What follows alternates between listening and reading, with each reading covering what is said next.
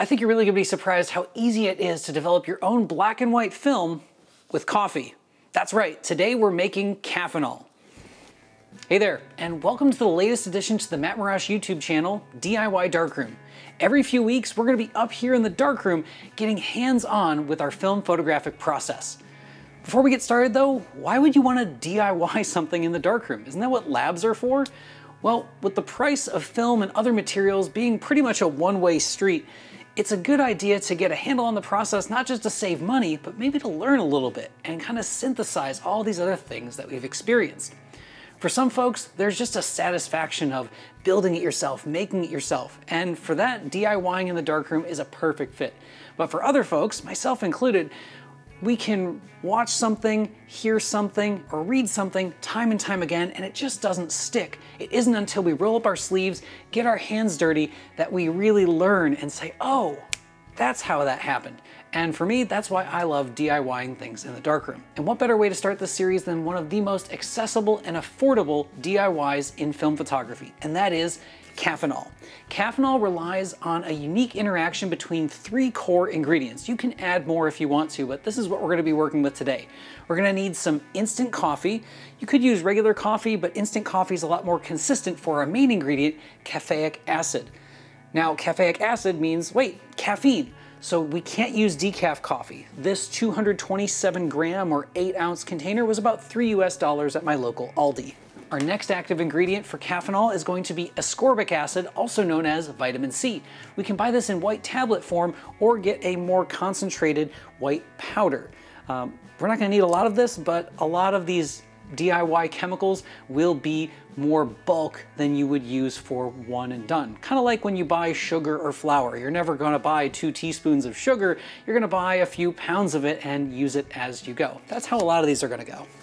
And finally, our third active ingredient that we're gonna need for this is something to help create a higher pH environment than just water. And that's gonna be our sodium carbonate, also known as washing soda. You can find this in a few different forms. Uh, you can find it in like powder or flakes. This is a white powder form. You can also get a box of flakes in your uh, home goods aisle where you would find like detergents and soaps. But what you wanna avoid are crystals. Those are gonna be harder to bring into solution and mix yourself. If you wanna follow along at home, you're gonna need those three active ingredients. So we're gonna need caffeinated instant coffee, vitamin C, sodium carbonate, you're going to need a roll of exposed black and white film. Here I have some Ilford Pan F Plus in medium format. You're going to need a film developing reel and a daylight or light tight tank for developing. You're gonna need a teaspoon for measuring things out and to hold our liquids and mix, you're gonna need something that measures in cups, but preferably something that measures in milliliters. And finally, we're gonna need some water and some fixer. Pre-made fixer is fine, but stay tuned, get subscribed, and I'll show you how to make your own fixer that's a lot cheaper. So those are the core components you're gonna need to make things happen. You don't need to do this in a darkroom. Um, it's nice if you can have it done over a sink, but a darkroom sink isn't necessary. One of the first ways to gain more consistency in your process is to ditch that tap water, especially if you're on a well or you have really hard water. Go ahead and pick up some distilled water. It's relatively inexpensive at a little over a dollar per gallon, which gets a lot of mileage for what we're doing.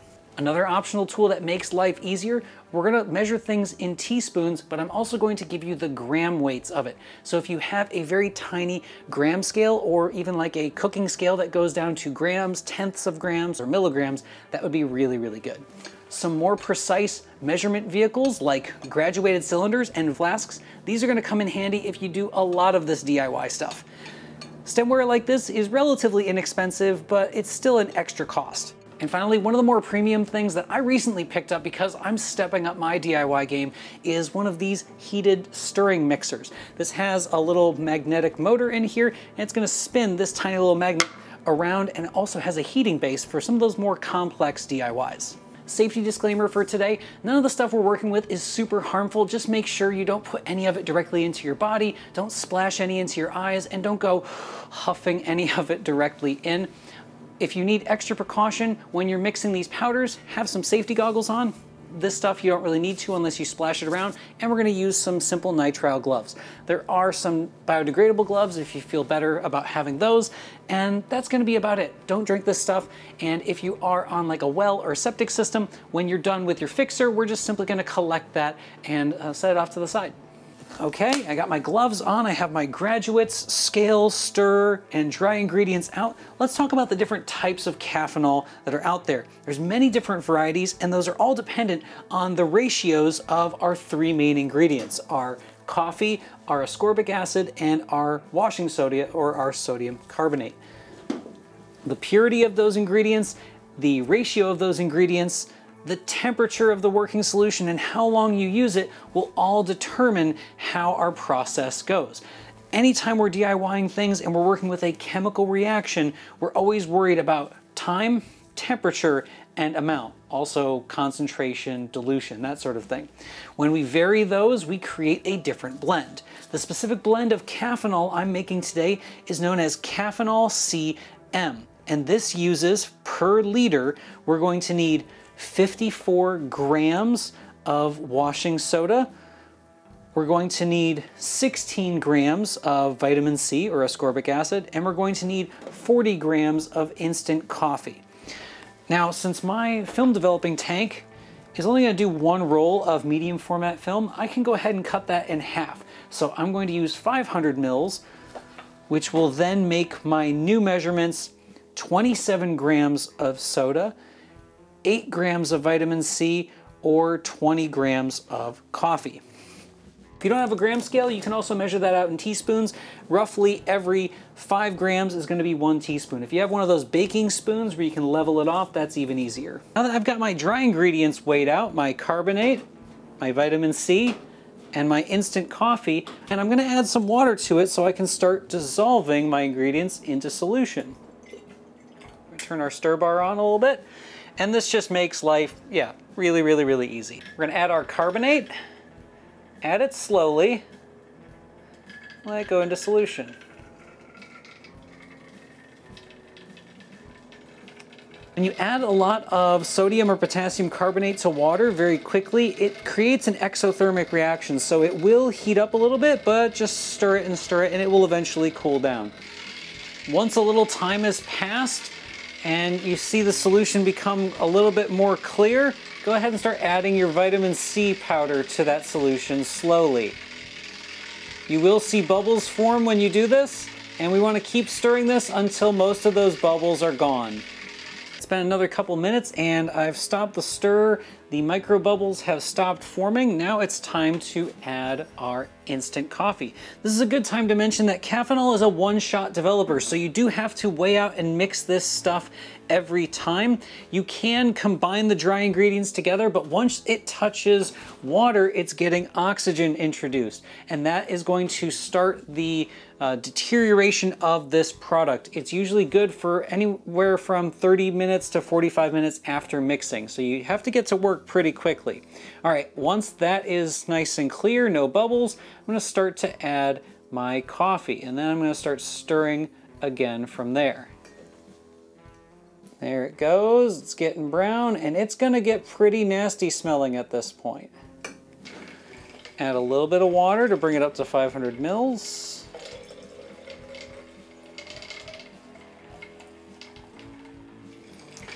This definitely smells like the worst coffee ever.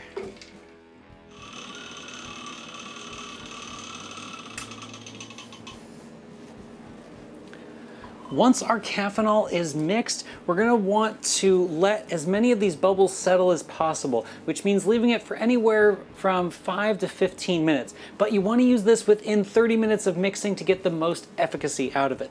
So we're gonna let this sit here. This is a perfect time to darken the lights, put a towel under the door, whatever you need to do to get light tight so we can load our film onto our reel and place that into our light tight tank.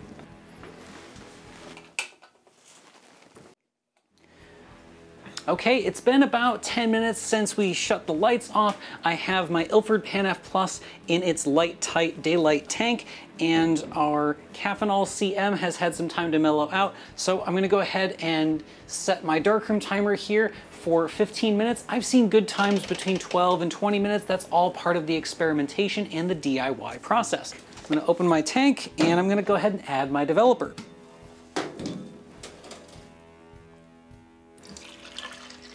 You want to add about 10 seconds for pouring time. So you want to pour quickly, but like not so fast you form a lot of excess bubbles. So we've poured. Now we're going to start our agitation procedure. So I'm going to start with the first 30 seconds of agitation up and down pretty smoothly. There we go. Okay, we're gonna rinse, lather, and repeat with inversions happening every 60, you can do five to 10 seconds every 60, or you can do a few inversions every 30 seconds, whatever you prefer. Development is now complete. We are going to pour out our spent developer. Oh, that is ever so nasty. There we go. And now we need to completely stop it by adding some water. I recommend using a water stop bath because it's, uh, yeah, it doesn't create any excess bubbling or anything that we don't want out of our film. With our film process stopped with that running water, we're gonna go ahead and fill her up with some of that rapid fixer. This is diluted one plus five, so one part concentrate to five parts water, and we're gonna pop that in for about five minutes.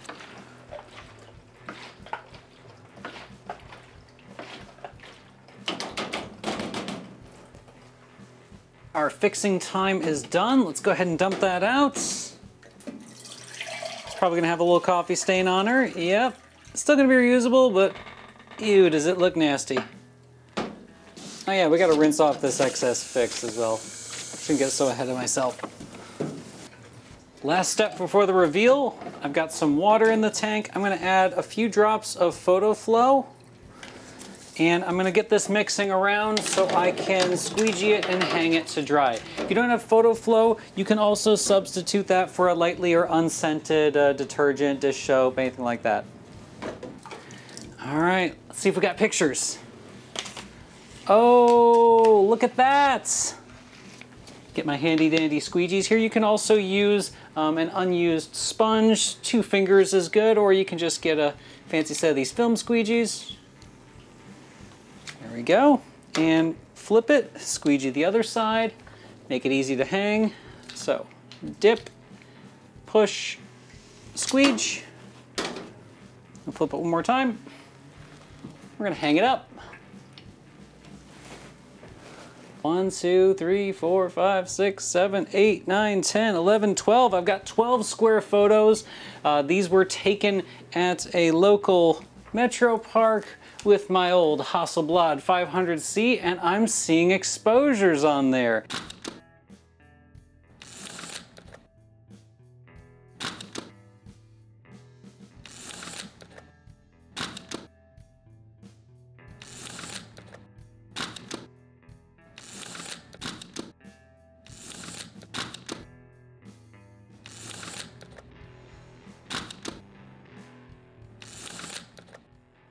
How about that?